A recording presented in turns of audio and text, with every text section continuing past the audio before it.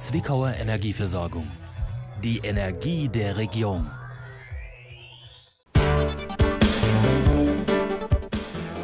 Zwickau freut sich über Investitionen der Industrie. 13.000 Besucher beim MDR Jump Osterfeuer und FSV Zwickau will weiter um Punkte kämpfen. Tag aktuell, das regionale Abendmagazin. Liebe Zuschauer, einen wunderschönen guten Abend und herzlich willkommen zu Tag aktuell vom Freitag.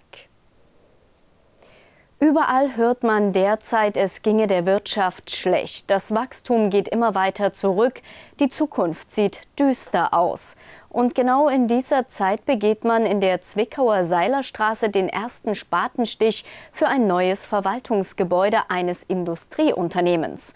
Auf den ersten Blick passt das nicht so recht zusammen. Doch wenn man hinter die Kulissen schaut, wird deutlich, dass die Industrie selbst die Situation gar nicht so schlecht sieht. In der Seilerstraße 7 wird gebaut. Doch diesmal sind es keine Eigenheime. Hier wird an der Erweiterung eines Industriestandortes gearbeitet. Die Witzenmann-Gruppe führt eine große Restrukturierungsmaßnahme durch mit Zusammenlegungen von Standorten und erheblichen Investitionen. In Zwickau fällt dabei positiv auf, dass eben nicht auf der grünen Wiese gebaut wird. Die Gebäude und die Lager angrenzend an das frühere Horch und spätere Sachsenringgelände zeigen, dass hier ein alter Standort revitalisiert wird. Der Standort hat ja über 100 Jahre Geschichte. Wir haben ihn dann nach der Wende übernommen und hatten ja dann in Werdau und in Zwickau zwei Standorte und die fahren wir jetzt gerade hier in Zwickau zusammen. Das freut natürlich auch die Vertreter der Stadt. Denn ein derart historisches Industrieensemble anderweitig zu nutzen, wäre vor allem in Zeiten Klammerkassen kaum zu stemmen. Also das ist unglaublich schön, wenn man in der heutigen Zeit mit der schwierigen Entwicklung in der Baubranche so ein Event begehen kann und einen Spatenstich vornehmen kann und weiß, dass hier ein Unternehmen in Zwickau 6 Millionen Euro in seinen Standort investiert für einen neuen Bau. Das macht einen unglaublich stolz und glücklich. In den Ansprachen der Geschäftsleitung war auch etwas anderes positiv herauszuhören. Es sind nicht die neuen Länder oder die ostdeutschen Länder, es sind ganz einfach die Sachsen. Auch das ist 30 Jahre nach der Wiedervereinigung noch nicht in allen Köpfen. Hier ist es nicht nur Firmendoktrin, es sind vielfach auch die eigenen Erfahrungen. Ich muss ehrlich sagen, ich bin ein Fan von den Sachsen. Ich mag die Leute hier sehr. Man ist eben direkt äh, und freundlich und auch kameradschaftlich. Und man lässt sich auch nicht so gerne ein X von UV machen. Also mir persönlich liegen die Sachsen sehr. Nun hieß es 6 Millionen, das ist für die heutige Zeit im Bau nicht gerade ein Pappenstiel. Das ist kein Pappenstiel, das muss man ganz ehrlich sagen, wobei der Bau selber liegt so bei 2 Millionen Euro. Wir haben aber auch in dieses Gebäude hier links äh, hinter uns noch investiert, das ist die Produktion und dort auch noch wichtig große Maschinen gekauft, damit auch die Fertigung einen anderen ja, äh, Produktionsschub bekommt. Fertigung Made in Germany ist auch nicht mehr unbedingt so das, was man so im Allgemeinen kennt. Äh, China ist da ein bisschen weiter, aber Witzmann produziert auch weiterhin hier in Deutschland. Ja, wir produzieren hier in Deutschland, äh, an mehreren Standorten sogar. Wir sind auch in Hamburg tätig, wir sind hier in Zwickau, wir sind auch in Xanten und in Pforzheim ist unser großes Stammhaus und dort hat es auch nochmal drei Standorte. Aber wir sind schon eine internationale Gruppe, wir haben 21 Töchter und auch eine in China. Dabei, so Philipp Paschen weiter, werden auch immer die Mentalitäten vor Ort beachtet. So international die Gruppe aufgestellt ist. In China arbeiten neben Chinesen, in Hamburg arbeiten Norddeutsche und in Zwickau arbeiten Sachsen. Das und auch das vorhandene Wissen und Können vor Ort sind eben ein Standortfaktor. Ich glaube auch, dass die Muttergesellschaft hier an den Standort glaubt und weiß, dass es die Fachkräfte hier gibt, die für das spezielle Produkt, was es im Rohrleitungsbau braucht, hier ähm, ja, einfach zu finden ist. Und das macht umso mehr Stolz als Stadt Zwickau. Mit solchen Aussagen stellen sich die Stadt Zwickau und auch die Witzenmann-Gruppe gegen einen Trend in Deutschland. Viele Menschen sehen alles nur noch negativ, auch wenn es den sprichwörtlichen Jammer-Ossi schon lange nicht mehr gibt. Das ist richtig, aber äh, auf das Jammern haben die Ostdeutschen kein äh, Patent. Das ist ja leider in ganz Deutschland mittlerweile so. Ich denke, wir müssen eben auch unbedingt in Deutschland investieren, auch in unsere äh, Köpfe, in unser Können. Das ist relativ wichtig, denn wir sind auch ein deutsches Unternehmen. Für Witzenmann ähm, schon seit 1854 sind wir ja schon tätig. Ein absolutes Muss, auch in Deutschland Investitionen vorzunehmen. Damit die Investitionen auch getätigt werden können, lasst uns endlich zur Tat schreiten. Die Spaten für alle Beteiligten stehen bereit und fast schon generalstabsmäßig geplant läuft die Zeremonie ab. Zwei. Anheben. Anheben. Und noch hinten weg. Und von vier nach vorne bitte. Und jetzt? Und jetzt. Los.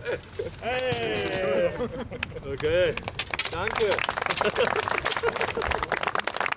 Geschafft. Aber was ist denn nun das Besondere am Standort und am neuen Gebäude?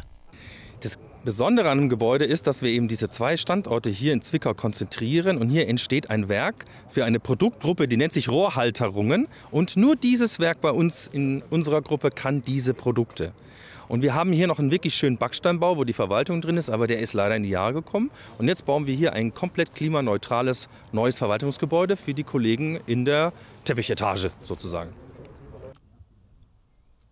Bei einem Rundgang durch die neue Halle wurde schnell klar, das ist hier nicht mehr die klassische Industrie, in der mit wenigen Handgriffen Massenprodukte hergestellt werden. Auch deshalb ist die sogenannte Teppichetage wichtig. Dort ist auch die Weiterentwicklung der Produkte angesiedelt. Denn der Markt erwartet eine hohe Anpassungsfähigkeit und das kann man auch nicht mit uralter Infrastruktur bewerkstelligen. Ähm, seit Oktober letzten Jahres haben wir den Standort äh, restrukturiert und produzieren seit Oktober letzten Jahres hier am Standort. Beim Rundgang präsentierte der Betriebsleiter auch einen der hier produzierten Rohrhalter. Also für die Zuleitung zur Dusche im Bad ist das garantiert nicht vorgesehen. Das ist nicht für die Dusche, es ist für die Industrie. Einer unserer größten Kunden ist BASF. Für den äh, produzieren wir Rohrhalter in jeglicher Art und Weise. Äh, wie viele Leute sind hier überhaupt? Äh, zurzeit sind wir 82 äh, Mitarbeiter, ähm, natürlich mit Wachstum, deswegen auch der neue Standort mit dem neuen Verwaltungsgebäude. Und die Rohrhalterungen sind hier so das Hauptprodukt? Genau, genau. Also wir, wir produzieren den Rohrhalter hier. Es gab ursprünglich noch Metallschläuche, die sind aber verlagert worden, firmenintern. Und wir konzentrieren uns jetzt nur noch auf den Bereich Rohrhalter für die Industrie. Eine solche Spezialisierung ist in der heutigen Wirtschaft gang und gäbe. Dabei ist vor allem von Vorteil, dass sich ein hohes Spezialwissen etabliert. Damit wird nicht nur dieser Standort aufgewertet, auch für die Stadt Zwickau ist das positiv zu werten. Eine Aufgabe gibt es aber noch. Die Zufahrt zum Standort ist noch nicht so ganz das Gelbe vom Ei. Also konkrete Projekte gibt es noch nicht, aber wir sind ja im Moment sowieso mit einem großen Straßenbauprogramm unterwegs und wir werden uns auch diesen Straßenzug anschauen und schauen, ob wir den mittelfristig dann mit einordnen können im Haushalt für eine Erneuerung. Bei der Witzenmann Sachsen GmbH hört man das gern. Und es gibt noch viel Platz für Ansiedlung an der Seilerstraße, diesem traditionsreichen, vitalen Industriestandort. Am gestrigen Donnerstag endete um 18 Uhr die Frist, um für die Stadtratswahl Wahlvorschläge einzureichen. Insgesamt nutzten zwölf Parteien und Wählervereinigungen diese Möglichkeit. Über deren Zulassung entscheidet nun der vom Stadtrat gewählte Gemeindewahlausschuss in seiner öffentlichen Sitzung am Mittwoch, dem 10. April um 15 Uhr. Neben den schon bisher im Stadtrat vertretenen Parteien und Wählervereinigungen bedurfte es bei fünf Parteien und Wählervereinigungen bzw. Einzelkandidaten 160 Unterstützungsunterschriften, die bis gestern Abend geleistet werden mussten. Mit bei der Wahl vertreten sein werden die Parteien, Wählervereinigungen bzw. Einzelkandidaten 2ZG, Zwickau zusammen gestalten, das Bündnis Sarah Wagenknecht und die Partei Freie Sachsen.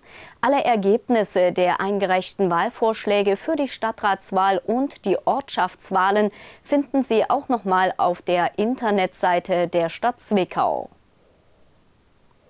Anne Kuhl übernimmt ab dem 8. April die Stelle der Stadtmanagerin. Die 43-jährige gebürtige Zwickauerin hatte, damals noch unter dem Namen Klüglich, diese Position bereits von August 2016 bis Oktober 2017 inne.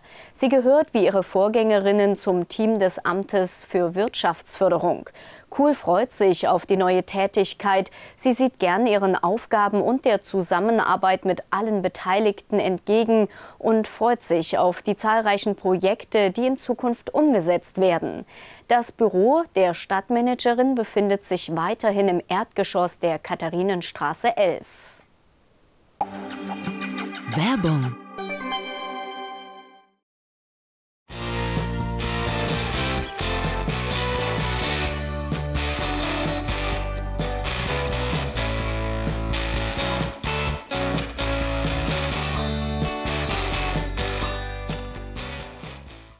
Treitschke. Dieser Name steht seit nunmehr 27 Jahren für Qualität und Zuverlässigkeit rund um die Pflege. Das Sanitätshaus bietet den Komplettservice aus einer Hand. Zentralisiert in der äußeren Dresdner Straße 12 in Zwickau finden die Kunden hier beste Voraussetzungen für eine ganzheitliche sowie allumfassende Beratung und Versorgung. Das freundliche und bestens ausgebildete Team mit oft langjähriger Berufserfahrung nimmt sie an die Hand. Ob Wundversorgung, Trink- oder Sondennahrung, Stoma- und Inkontinenzversorgung. Alles ist vorrätig im Sanitätshaus Treitschke. In der modernen, geräumigen Orthopädieabteilung reicht das Spektrum von orthopädischen Schuheinlagen über Orthesen bis hin zu individuell angefertigten Prothesen für Arm und Bein. Fordern Sie uns. Wir sind rund um die Uhr für Sie erreichbar. Parkplätze stehen direkt vor der Tür zur Verfügung. Sanitätshaus Treitschke, Äußere Dresdner Straße 12 in Zwickau.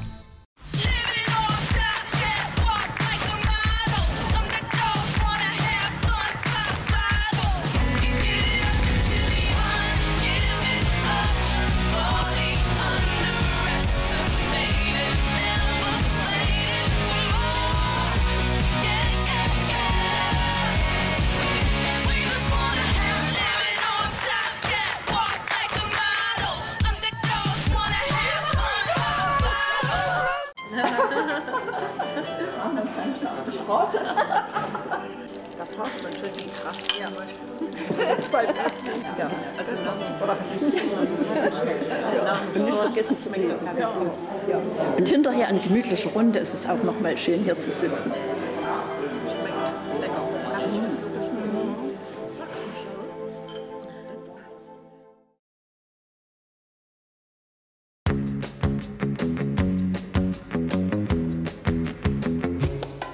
Internet mit bis zu 1000 Mbit. Einfach gebucht, schnell verbunden und viel gespart. Bis zu 1000 Mbit ab monatlich nur 39,99 Euro. Plus gratis TV.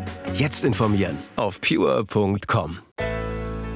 Regionaler Finanzdienstleister und Förderer der Kultur. Die Sparkasse Zwickau präsentiert die Empfehlung für Ihre Freizeit.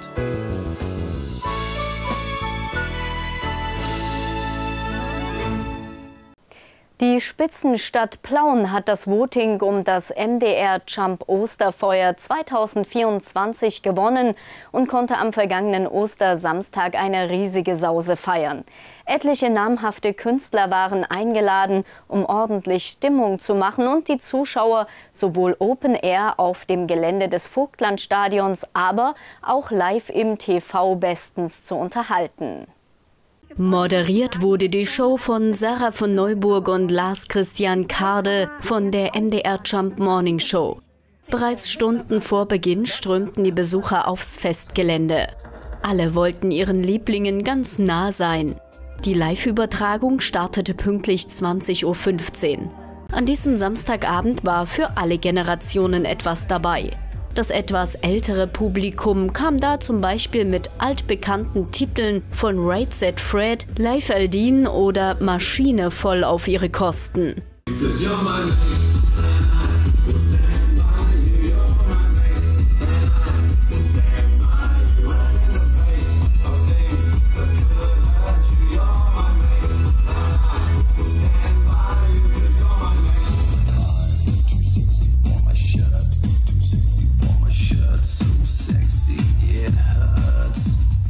Große Begeisterung zeigte sich dann beim vorwiegend jüngeren Publikum, als ein ganz junger Künstler die Bühne betrat, Iggy Kelly. Wie es der Name schon verrät, gehört Iggy zur Kelly Family und hat seine musikalische Karriere damals bei The Voice Kids gestartet.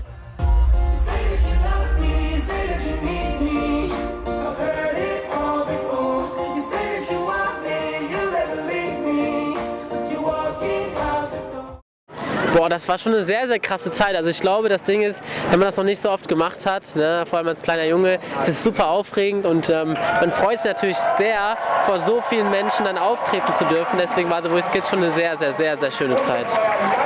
Ja, also ich glaube, nach The Voice Kids habe ich wirklich so für mich gemerkt, boah, ich will das die ganze Zeit weitermachen. Dann kamen die ersten eigenständigen Auftritte. Ich habe irgendwie angefangen, Musik rauszubringen. Ähm, ja, und dann ähm, kam alles super an und ich habe mich sehr gefreut. Und ähm, ja, dieses Jahr habe ich dann irgendwie ähm, ja, geschafft, an die Spitze der Radiocharts zu kommen. Und ähm, jeden Tag schicken mir Leute Videos, wie die mich im Supermarkt, im Restaurant, irgendwie im Shopping-Malls und so hören oder generell im Auto. Und das ist einfach so krass zu sehen, wie sich sowas entwickeln kann, wenn man einfach dran bleibt und immer weitermacht. Das ist echt crazy.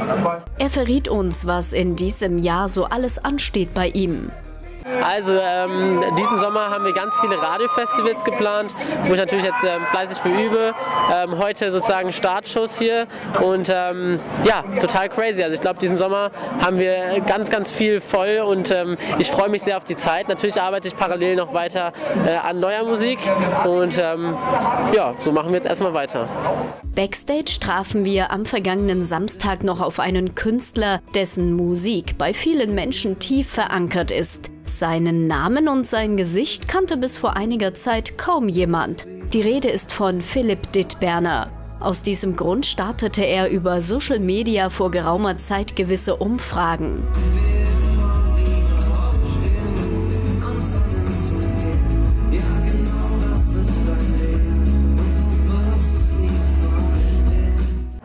Ne, wir haben das damals, äh, das war so ein äh, Social-Media-Moment, wo wir einfach so schamlos äh, mit meiner Selbstironie, die ich irgendwie ja in mir trage, äh, einfach mal probiert haben, die Leute anzusprechen auf der Straße. Und ähm, das haben wir dann so auf die Spitze getrieben, bis wir es dann irgendwann nicht mehr machen konnten. Dann kannten die Leute mich äh, auf der Straße mit der Gitarre und tatsächlich auch mein Gesicht. Ist, aus dem Gag ist irgendwie ein riesiges Format geworden. Es war natürlich lustig, dass es so funktioniert hat. Der Start seiner großen Karriere begann mit einem Familiengeschenk. Ähm, irgendwann mal eine Gitarre geschenkt bekommen von meiner Oma. Dann irgendwann nicht mehr so richtig äh, Sportinteresse gewesen, irgendwie viel Radio, äh, Gitarrenmusik gehört und ähm, dann habe ich gedacht, okay, da kann ich kann auch irgendwie Gitarre mir selber beibringen. Ich probiere es einfach mal aus und dann irgendwann war ich äh, bei Bands am Start in unterschiedlichen Projekten und habe einfach fleißig drauf losgeschrieben. Philipp Dittberner spricht mit seiner Musik vielen Menschen aus dem Herzen. Deshalb kamen auch am vergangenen Samstag viele Besucher nur wegen ihm. Und er hat gern zugesagt, beim MDR Jump Osterfeuer dabei zu sein, aus einem guten Grund. Also es ist ja, äh, was witzig ist, wissen wahrscheinlich wenig Leute, die heute hier sind. Mein allererstes Bandkonzert war auch in Plauen. War mein allererstes Bandkonzert, was ich vor zehn Jahren, glaube ich, hatte mit Sascha zusammen, war in Plauen. Deswegen, als ich gesehen habe, vielleicht wird es Plauen, muss ich auf jeden Fall dabei sein. Für Beifallsstürme sorgte dann auch das deutsche DJ-Duo Gestört aber geil. Im Gepäck hatten die zwei jungen Männer auch Stars wie Dennis Mansfeld oder Anna Gray.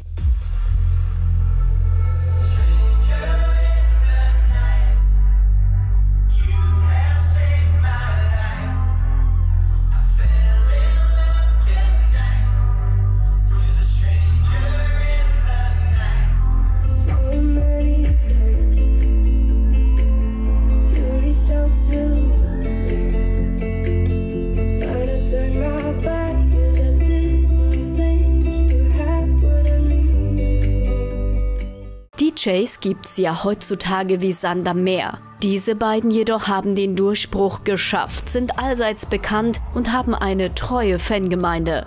Was ist ihr Geheimrezept?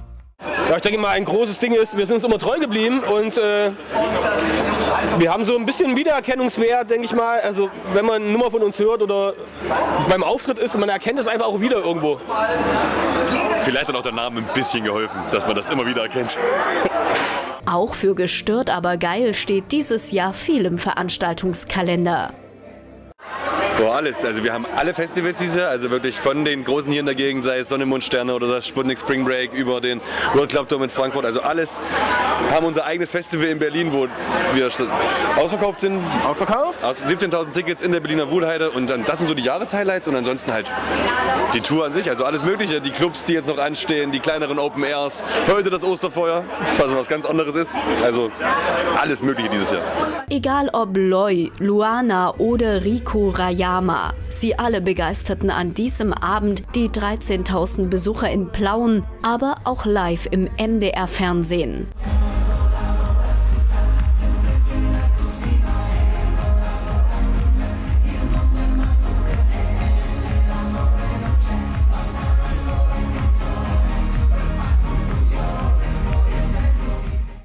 Als das Feuer dann allmählich am Niederbrennen war, neigte sich auch dieser musikalische Abend so langsam dem Ende entgegen. Den Abschluss der Show bildete dann Maschine featuring Nessie mit dem eher nachdenklichen Titel Das Buch.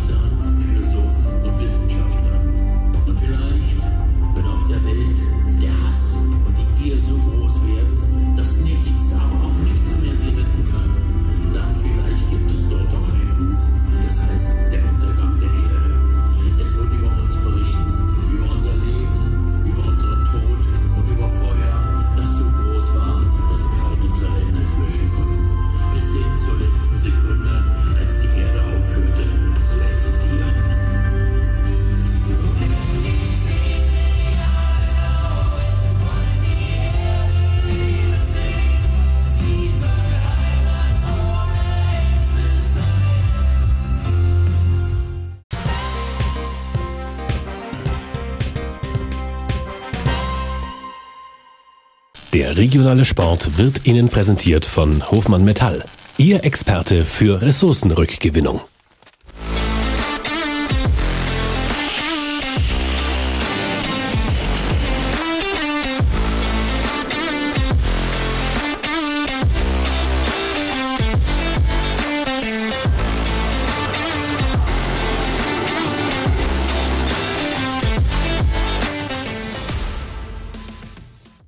Der FSV Zwickau will nach der Auswärtsniederlage in Chemnitz am vergangenen Wochenende nun wieder angreifen.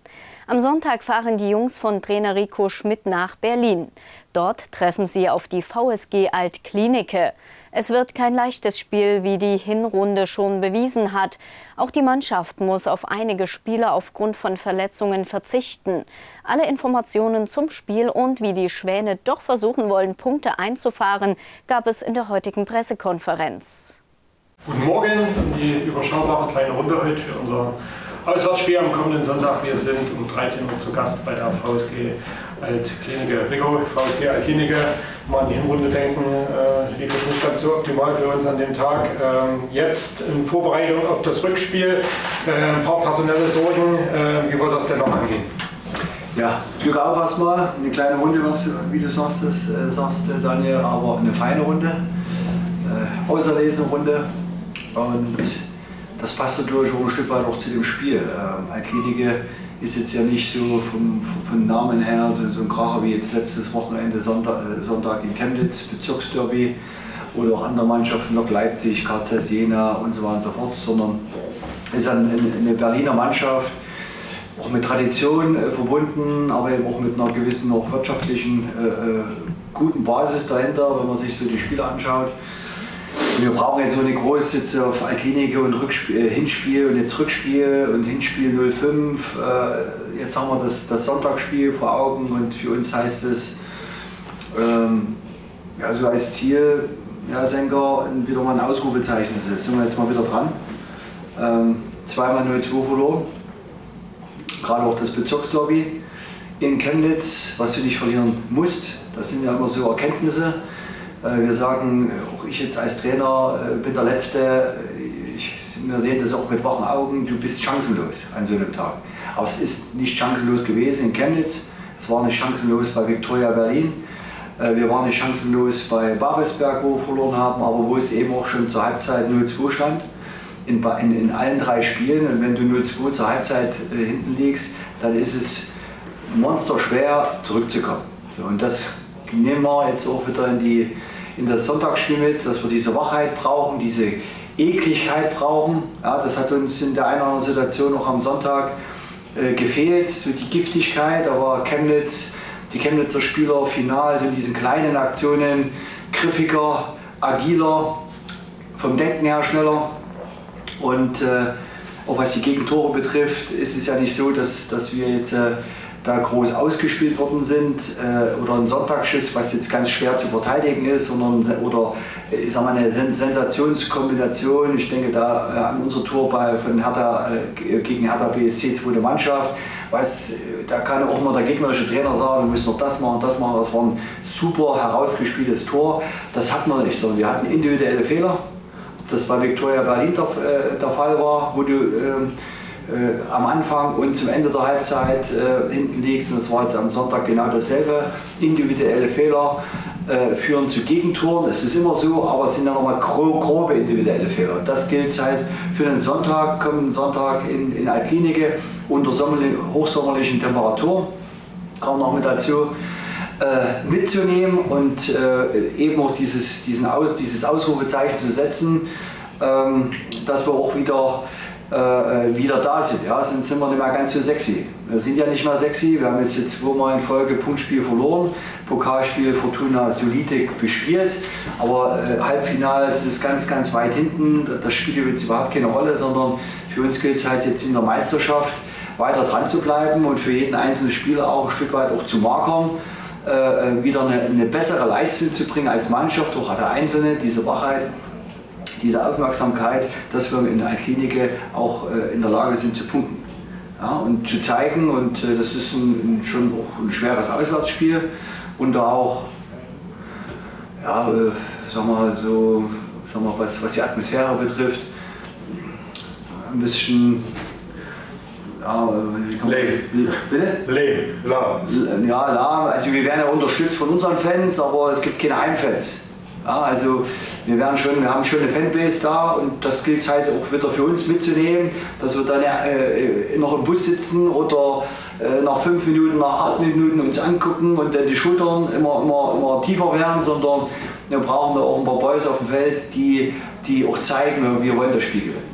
In der personellen Situation, das hat jetzt gerade Daniel gesagt, die wir, wo wir ein bisschen sehr, sehr angespannt sind, weil wir da auch aus den Sonntagsspiel ein paar verletzte Spieler mitgenommen haben. Und aktuell ist es so, dass wir äh, elf gesunde Feldspieler haben. Dazu zählt auch der Senker. äh, elf gesunde plus zwei Torhüter. Plus, so wie es aussieht, nehmen wir äh, äh ein paar Jungs aus der U19 mit. Und das macht es natürlich nochmal spezieller. Äh, so eine Aufgabe in der Klinik anzugehen, aber da tun wir nicht rumjammern. Das ist auch für den einen oder anderen auch wieder zu, zu markern. Ich bin da, äh, ich äh, habe auch eine Daseinsberechtigung. Das Training ist das eine, Wettkampfbetrieb und um zu zeigen, gegen dann gegnerische Spieler oder mit seiner Mannschaft am Thema zu arbeiten, erfolgreich zu arbeiten, ist das andere. Werbung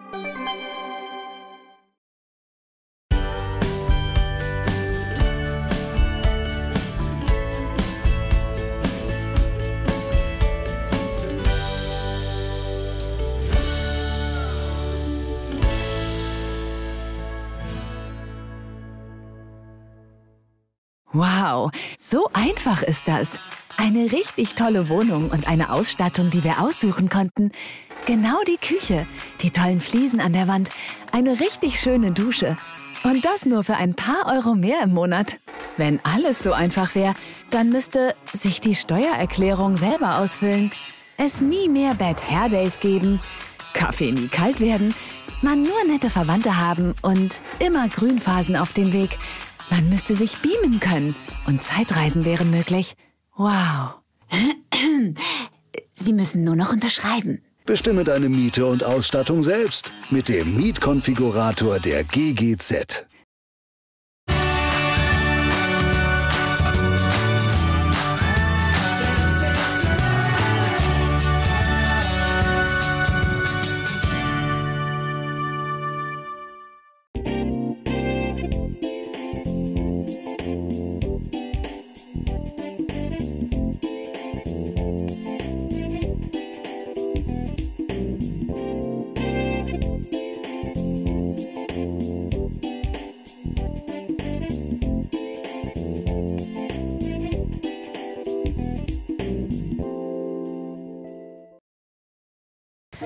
Tanzen bedeutet für mich Lebensfreude. Manche Drehungen oder Körperhaltungen können sich schmerzhaft auf die Gelenke auswirken. Das habe ich im vergangenen Jahr öfters gespürt. Ich bin schon Anfang 60. Und dann hat mich mein Tanzpartner mit einer Flasche Rosaxan überrascht. Seitdem ich die regelmäßig einnehme, kann ich wieder unbeschwert tanzen. Die Hagebutte hemmt Entzündungen und fördert die Kollagenbildung. Rosaxan zum Diätmanagement bei Schmerzen und Gelenksteifigkeit bei Gonarthrose. 100% natürlich. Fragen Sie in Ihrer Apotheke oder Ihrem Reformhaus. Das Wetter wird Ihnen präsentiert von der Westsächsischen Wohn- und Baugenossenschaft. Bei uns wohnt die Zukunft. Nun steht es vor der Türe, das Sommerwochenende Anfang April. Morgen erwartet uns ein sonniger Tag mit Höchstwerten von 25 Grad. Nur am Vormittag zeigen sich ein paar Wolken, aus denen sich der eine oder andere Schauer entladen kann. Bei Spitzenwerten von 26 Grad gibt es am Sonntag Sonne satt. Nur am Nachmittag ziehen gelegentlich harmlose Wolken ins Sendegebiet. Sommerlich warm kommt auch der Montag daher. Dann kratzen wir schon mal an der 30 Grad Marke. Sonnenschein dominiert das Wettergeschehen im Sendegebiet. Nur einzelne Wolken schieben sich gelegentlich vor die Sonne. Auch der Dienstag wird ein recht schöner Tag. Dann klettert das Quecksilber bis auf 18 Grad und Sonnenschein wird, abgesehen von ein paar unbedeutenden Wolken, unser Begleiter sein. Ja, liebe Zuschauer, das war's von Tag aktuell für den Freitag. Mir bleibt jetzt nur noch Ihnen ein schönes Wochenende zu wünschen. Genießen Sie die Sonnenstrahlen, die warmen Temperaturen und vergessen Sie nicht, in der kommenden Woche wieder einzuschalten. Bis dahin machen Sie es gut. Tschüss.